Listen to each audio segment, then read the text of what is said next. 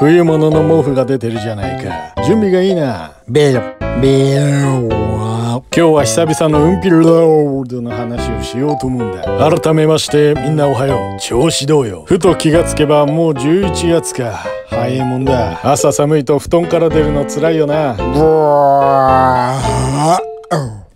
ただまあそんなことはみんな一緒だからな。気合一つで目覚めるんだ。まあ俺は家でトイレをできないタイプの柴犬だからよ。夜中の間に溜まったおティッコとうんぴを放出するために朝は必ず起きる。ここ最近主が犬の放置うんぴお断りの黄色い看板を貼ったんだ。そして放置うんぴの場所には容赦なくチョークで丸をして日付を記入した。するとなんということでしょう。11月1日と書いた11のところに新たなうんぴをかましてやがってよ。111月1日みてになってた。わそれを見た主がどんだけ未来のうんぴやねんとか言ってよ。気持ちよく晴れた秋の朝のお散歩が最悪の空気になってたぜ。このうんぴロードには野生動物の姿もあるから一概には言えないんだけどな。なんとか綺麗な道を取り戻したいものだ。全国各地にあると言われているこのうんぴロード。みんなで撲滅を目指そうや。こうなりゃいっそのことをお花畑にでもしてやるかああそうそうそう。お花畑で思い出したんだけどさ俺の家の軒先に蜂が巣を作り出してな。俺はうまくいけばプーさんが蜂蜜を取りに来るんじゃないかと思ってたんだ。そしたら主がよ黄色のマグナムジェットとかいうスプレーでフルボッコだ。家の中に入ってきた蜂はバドミントンのラケットで引っ叩かれてたな。全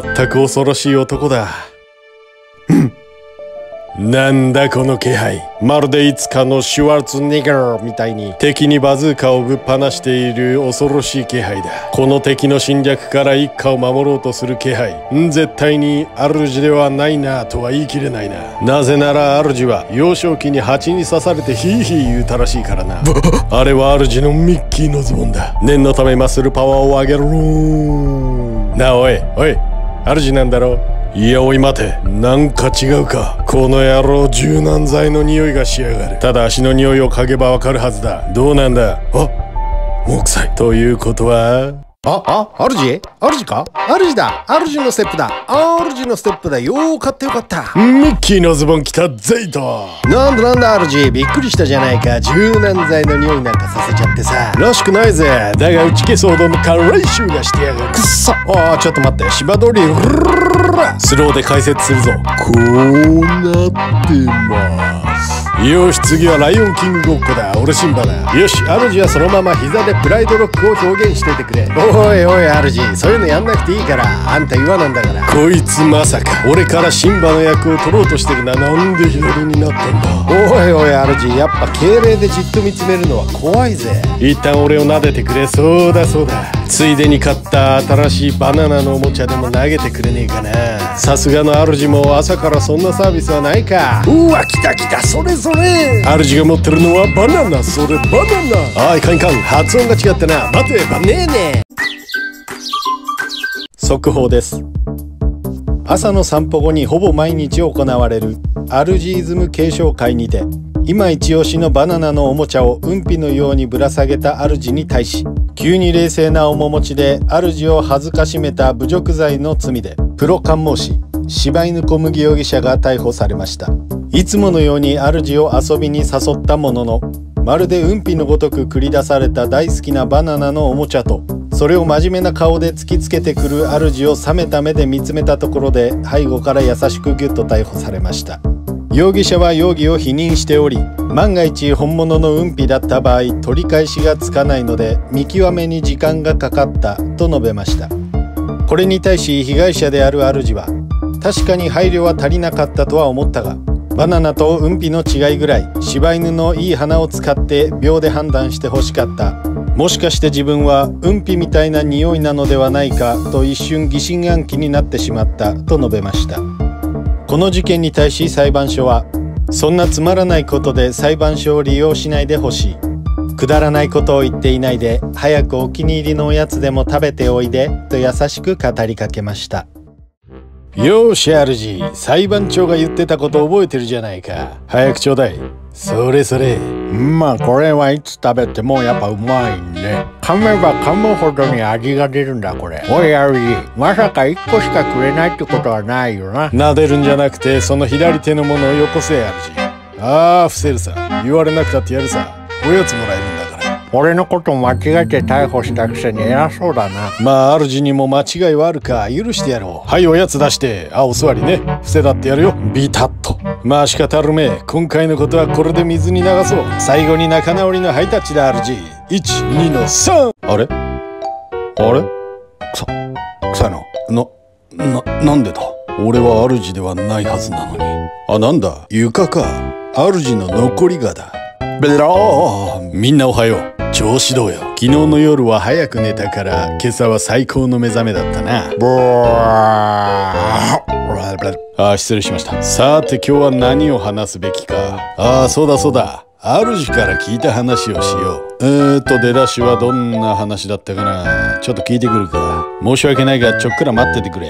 詳細聞いてくるから。最近どうもすぐ忘れちゃうんだよな。主主ちょっとみんな聞いてるから小声で教えてくれ。あのさ、こないだ主から聞いた。D をデーって発音するおじさんの話の出だしってどんなんだっけ？ああそうだそうだ思い出した。ありがとう。オッケーオッケー。いやそうだったそうだった。傑作だよな。なんで D を D って呼ぶんだろう？聞いてた？心の声が漏れちまってネタバレしちまったな。なんだかもじもじしちゃうな。悔しいぜ。ママお察しの通り D をデート発音するおじさんの話なんだけどな。噂では聞いていたんだが本当に存在するとは思わなかった。いよー。いやいかいかんかぶいてる場合ではないな。有名なところで行けば CD や DVD そんなところか。主にその話を聞いてから自分なりに考えてみたんだ。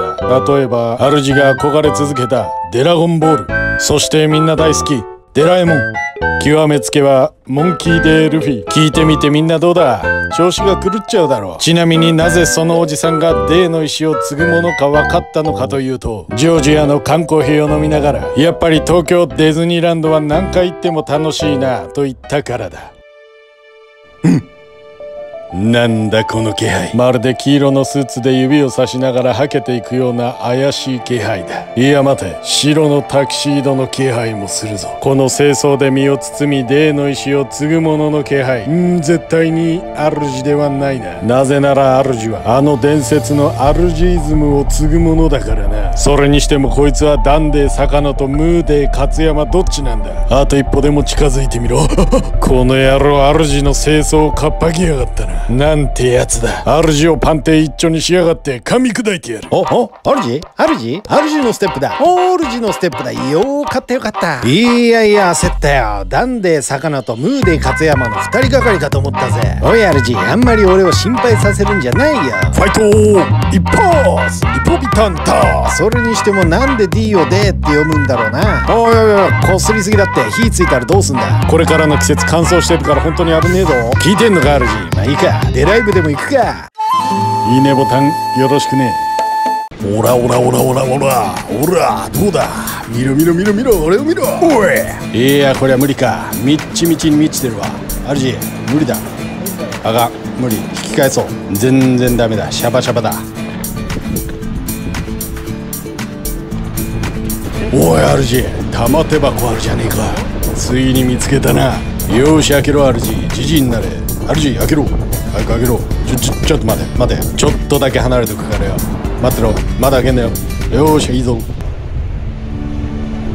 いやそれにしても今日は貸し切りだな。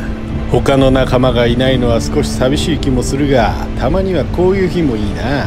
よし今日の三浦海岸は俺の独壇場だ。ついてこい主ただやっぱり太陽が出てないと寒いもんだな。よし主走れ。おおなんだ？俺の可愛い子ちゃんレーダーが反応している。行くぞ主ついてこい。今すぐ行くぜベイビーちゃん。クソがワカメだってか。騙されたな主それにしても今日は風が強いな。主毛生やさなくていいのか？風邪ひくぞ。そういえばさっきの玉手箱は本物だったのかな？主ビビって開けなかったからな。ジブリとかディズニーばっか見て育ってきたからああいうの本当に信じちゃうタイプだからな主は。あれ？主主あれ？主おいなんか倒れてるって。倒れてるって。カメラカメラ。カメラ倒れてるって。直してこいほら。可愛い俺が台無しじゃないか。しっかりしろよ。カメラが治るまでは俺は休憩してるぞ。直せ早く。治ったか？倒れないようにしてくれ。よーしそうだ。準備はいいか？治ったか？もう倒れるなよ。よーし行くぞ。おらそれにしてもよ主晴れた日もあれば曇りの日も雨の日もある。ただまあどんな日も自分のペースでクスッと笑ってのんびり行こうぜ。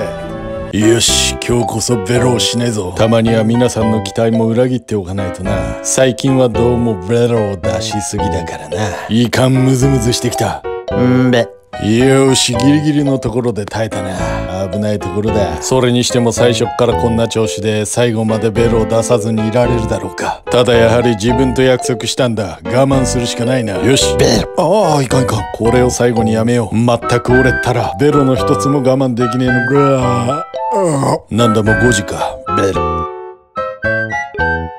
はいそれでは改めましてみんなおはよう。調子どうよ?みんな見てれば分かったと思うが好きなことは我慢なんかするな。周りに迷惑をかけたり健康を害することでなければ好きにやったらいいさ。実は先日主39歳生誕祭を行ったんだがな。その日は朝から3時間ぶっ続けで主万歳!とかなんとか叫ばされてよ。まったく大変な一日だったぜ。まあということで本日は主がどういう人間なのかちょっと俺の方から話していこうかな。このチャンネルは子供も見てるからな。あまりお下品なのは良くないだろう。よし。まず一発目は主平こきがち。あいつの体の何がどうなってんのか知らねえが無限の音色を奏でやがる。仕方のねえ野郎だ。よし次行くぞ俺の散歩中主顔面にクモの巣かかりがち。俺の大好きなお散歩コースである大自然ツッコミコースでの話だ。181センチの身長を生かして高確率でクモの巣を破壊している。まあこれに関しては俺が誘導してるみたいなところもある。それじゃあ3つ目いくぞ。可愛い俺のために冷凍庫から肉を盗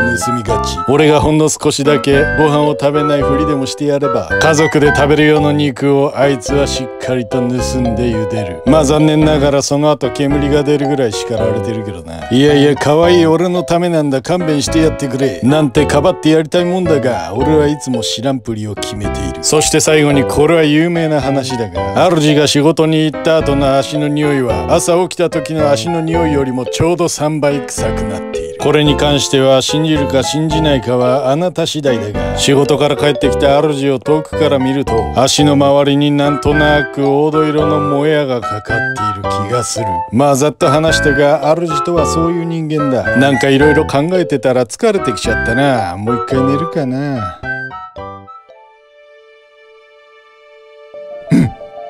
なんだこの気配。まるでシャンパン片手にブランド物で身を包むようなきらびやかな気配だ。このまるで貴族のような気配。ん絶対に主ではないな。なぜなら主は先日の生誕祭で無印のトレーナーとトトログッズで喜ぶ男だからな。おいおい嘘だろ。それは主が大事にしてるミッキーのズボンじゃないか。貴様それをどこで手に入れた。こいつ39歳になって調子に乗っている主を悲しませる気だなあ、あ、主主か？主か？一旦距離を取って後ろに回り込むぞ。主のステップだ。39歳になっても相変わらずだな。よかったよかった。はいそれでは主万歳。ああいかんいかん。生誕祭の癖が抜けるな。ところでよ主39歳の気分はどうだ？40代の足音が聞こえるな。嗅がせろうわっまあなんでもいいけどよ。39歳になってもきっちりステップ踏んでこいや。おおそうだそうだ。冷凍庫に新しい鶏のひき肉入ってるの知ってるか主いいねボタンよろしくね。主いよいよ秋も深まってきたな。黄昏てるのは構わないが俺のこと忘れていないか。俺よりも色づいたもみじばっかり眺めやがって。でもまあ綺麗か。俺の次ぐらいに綺麗だな。俺は未だに寒くなったら赤くなるっていうのが不思議でしょうがないよ主寒いなら真っ青になればいいのにな。おここのもみじはまだ青々してるな完全に乗り遅れてやがるあれ主今日は俺をすすきでファラファラしないのかい？あれ俺結構好きだぜ皆さんこんにちは、主です。ここ最近は柴犬小麦がよく喋るおかげで僕にちっとも語らせてくれませんが、日に日に寒くなる三浦半島を風に吹かれながら相変わらずのんびり柴犬小麦と楽しんでいます。おいおい主いつまで風に吹かれてんだ？飛んでっちまうぞ。いかんいかんついにバレてしまったか。俺と主の秘密基地を移してしまった。明日には可愛い子ちゃんが束になって押し寄せるんじゃないか。参ったもんだ。おいおい主見てて。階段を上下動なしで下る技を覚えたんだ。はい行くよ注目。つって方つって方つって方ったった。はあまあまあまあ。それにしてもよ主俺は思ったんだけどさ俗に言う大人っていうのは何歳からなんだろうな。心が年を取らなければいつまでたっても子供でいいんじゃないか。そう考えると年を重ねるのもそんなに悪くはねえな。ブレッわあおお失礼しました。みんなおはよう。調子どうよ。ここ最近は朝露の影響で散歩に行くと足がびっしゃびしゃになってよ。それをドライヤーで乾かされるとかゆいんだよ。かゆみってやつは一度書き出したら終わりでな。もう止まらないんだ。いや参ったもんだ。えなんだ？あれ？これってまさか？昨日の？タレチュールだ。誰かに見つかる前にとっとと舐めてしまおう。あまり床をベロベロやってると怒られるからな。あっ！ベル。ベルカメラ回ってたか？ブレル参ったな。動画データを消さなければ。どこのボタンを押せばいいんだ？俺はいまいち iPhone の使い方分かってないからな。うん。なんだこの気配？よしお前の意見を言ってみろ。主で。笑わせるな。このピーマンみたいな気配が主なわけがないだろう。そうやってすぐに思い込んでしまうところ良くないぞ。反省しろこの小アッパがどこから入ってきやがった？推理力が毛利心並みの俺を騙せると思うなよ。いやおい待て。少し近すぎるか？おい嘘だろ。こいつ間違いあるめ UFO だ。さあ、あ、主主主の匂いだ。主の足の匂いだ。ちょっくら距離とんねえと危ねえ匂いだ。あれ？主の野郎気づいてないな。よし今日は逆パターンで言ってみるか。それにしても主から醸し出されるピーマンみたいな気配は何なんだ？おいおい待て。左手の指なんだそれ。俺は生まれてこの方忍び足で左手の指で床を指さしてるやつを見たことないぞ。しかも主のくせに裏肝のスキニー履いてやがる主の野郎ムッキのズボンを裏切りやがったな。思い知らせてやる。わ。オラオラ後ろだ。その指食いちぎってやるか。おい主さすがに気づいてるだろ。あれ？カーキのスキニーに緑のトレーナー着てるなんだか今日の主はピーマンみてえだな。おいおい主じらすんじゃないぜ。来た来た来た来た来た来た来た。これこれこれこれこれ。おおそうだ。俺の子分を紹介していいか？二代目のグワングワンだ。初代グワングワンは腹から綿が出てダメになっちゃったからな。よーし二代目グワングワン。大好物叫んどけ。ささていいねボタン。よろしくねピーマン主を見てたら野菜が見たくなったがここはキャベツ畑か。それにしてもうまそうだ。おい小麦後半は主が喋りたいって言っただろ。でもまあいいか。柴犬小麦と僕の三浦半島。海風からのミネラルでうまいことは間違いないがこの美しさもまた格別だ。農家の方々が愛情を込めて雨の日も風の日も暑い日も寒い日も世話をして育ててくれるんだ俺たちはその気持ちに感謝をしながら大切に食べないとな。主は子供の頃ピーマンが苦手で食べるのに1時間ぐらいかかってたらしいからな。ベソかきながら食べてたらしいぞ。皆さんこんにちは。ピーマンが食べれるようになった主です。見てくれているちびっこのみんな。子供の頃の主みたいに苦手なものはあるかな？ほんの少しだけでもいいから苦手なものを食べれるようになる練習をしよう。そうすればきっと君が大人になる頃には食べれるようになっているよ。食べ物に限らず作ってくれた人や運んでくれた人それを売ってくれるお店の人にも感謝ができる優しい人間に僕はなりたい。そうすればその人たちがまた誰かに優しくできるかもしれない。前とか後ろじゃなくて横に並んで歩いていけたら幸せだな。よし来たな。カーペットを乱しておくことで主をおびき出したぞ。今日こそ目に物を見せてやるわ。いざ勝負食らえ主うわ硬い。なんて硬さだ。硬くて重くて臭いとは信じられねえなこいつ。いかんこのままではなでほだされちまう。これじゃいつまでたっても自利品だ。まずは一点突破だ。右手首に攻撃を集めるぞ。一旦やられたふりをして慎重さを埋めるしかないな。いたたたたた。よし作戦成功だ。主の腰を砕き落としたぞ。よし勝負はここからだぜ主